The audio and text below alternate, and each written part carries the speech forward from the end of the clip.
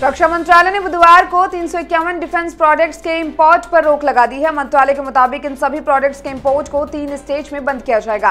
पिछले 16 महीने में मंत्रालय तरफ़ से इस तरह की तीन लिस्ट जारी हो चुकी है। इस फैसले से तीन हज़ार करोड़ रुपए की फॉरेन करेंसी की बचत होगी। इसके साथ ही जारी एक और लिस्ट में 2500 ऐसे उपकरण जानकारी दी गई है, जिन्हें अब पूरी तरह से भारत में ही बनाना शुरू कर दिया गया है। मंत्रालय ने बताया कि इन सभी डिफेंस प्रोडक्ट्स का इंपोर्ट अगले तीन साल में बंद किया जाएगा। पहले स्टेज में अगले साल दिसंबर तक एक प्रोडक्ट्स का इम्पोर्ट बंद होगा। इसके बाद दिसंबर 2023 तक नवासी उपकरणों का आयात खत्म किया जाएगा। सबसे आखिरी में दिसंबर 2024 तक नब्बे प्रोडक्ट का इम्पोर्ट पूरी तरह बंद कर दिया जाएगा।